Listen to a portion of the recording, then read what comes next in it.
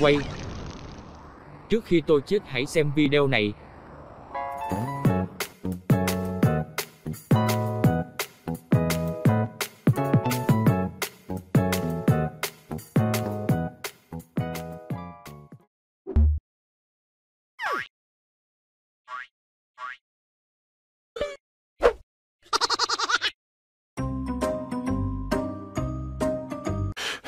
A